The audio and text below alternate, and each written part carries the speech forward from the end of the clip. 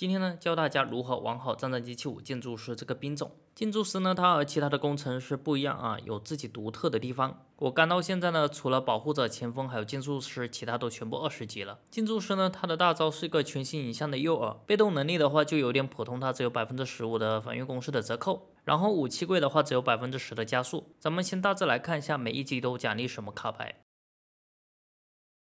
接下来给大家介绍一下技能卡要怎么带。建筑师的话，我比较喜欢这样子带卡牌。首先呢，高效修复是必备的，它的成本能降低百分之六十，然后修复速度呢增加百分之三十，这样子可以给你省下很多钱。然后就是骗局了，从侧面或者后方攻击时，武器上增加百分之两百，哇，是真的很强。特别是你拿了狙击枪或者霰弹枪的话，伤害非常的高，经常很多波次呢，我都能拿到 MVP。接下来就是全新影像诱饵的持续时间啊，满级的话是百分之一百七十的加成。接下来是延长大招的持续时间，有了这张卡牌，你基本上可以做到无限大招，也就是你开一次大招呢，可以持续一整波的时间。接下来就是顶尖，生命值高于百分之五十的防御攻势呢，伤害增加百分之四十，无论是你的岗哨、雷霆岗哨还是陆战呢，都有百分之四十的伤害加成。这个加成呢，会比技工还有机器人专家还要高。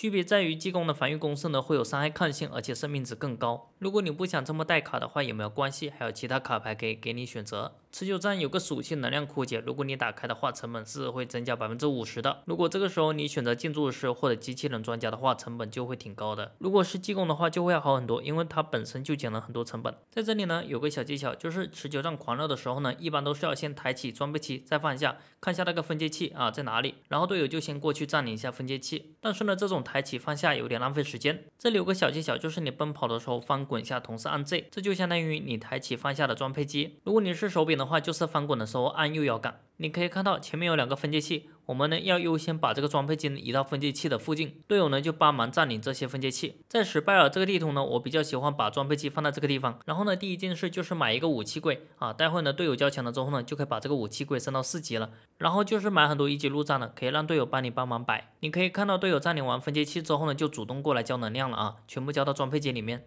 优先建造一级路障，先不要把它升二级，然后优先把这个武器柜呢升到四级。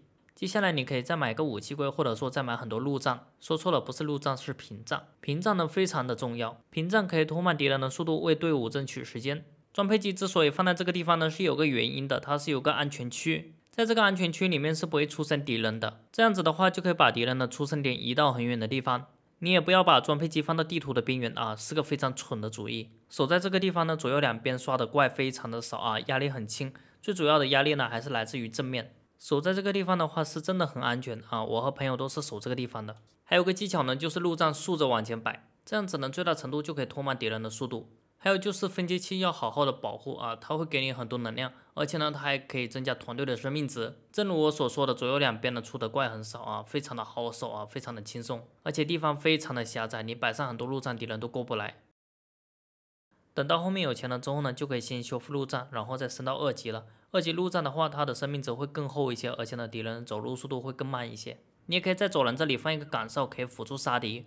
我个人比较喜欢雷霆岗哨，因为它的射程很远，而且呢还可以击晕敌人。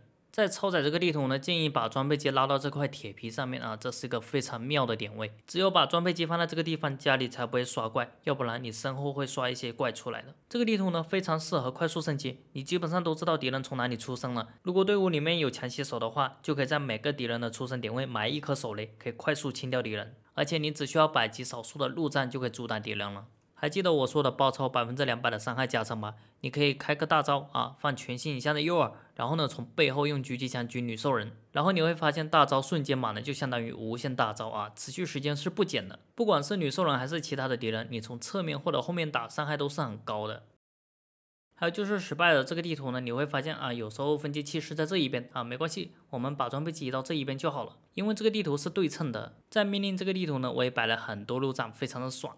搞活动的时候呢，激光还可以四百六十能量一个路障啊，非常的省。然后我又摆了几百个路障，看是不是非常的震撼？还有新手工程师呢，不要犯这种低级错误，雨露均沾，买那么多一级武器柜干掉，这种是真的会把人给气死的。优秀的工程师都会精打细算，都知道钱该花在什么地方。特别是队伍里面有爆破专家的话，他是需要两个武器柜的，起码两个武器柜啊，因为他需要装很多榴弹啊，还有 GL。满级的爆破专家的输出是非常的恐怖的。建筑师他虽然没有另外两个工程师那么厉害，但是呢，他是有自己的优点的。就比如说百分之两百的暴受伤害。我是为了要做到所有的兵种二十级，所以说最近天天玩建筑师的。我玩的最多的兵种呢还是技工啊，技工会更强一点。好的，以上呢就是本期视频的主要内容了，感谢大家的收看，喜欢的话就点个赞，加个订阅哦，也不要忘了点击订阅按钮旁边的小铃铛，就可以第一时间收看到最新的视频了。好的，那么呢咱们下期再见，拜拜。